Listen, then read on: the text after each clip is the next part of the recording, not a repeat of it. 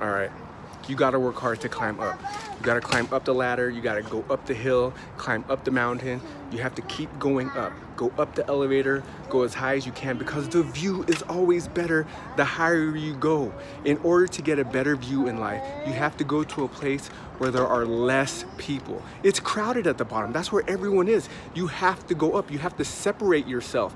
If you want a better view, if you want a different life, you have to do things that other people aren't doing. Oh, here's my boy. I love this. I love this guy. These notes that I'm doing, they're for him. They're for they're for my boys. I want them to know and to learn from my mistakes. If someone can learn from my mistakes, then thank God I made those mistakes. Let me say that again. If someone can learn from my mistakes, then thank God I made those mistakes because someone else will not make those mistakes. If you want a better view in life, you have to climb up. You have to go up. It's crowded at the bottom. That's where everyone is. Go higher. Go higher in life. Subscribe.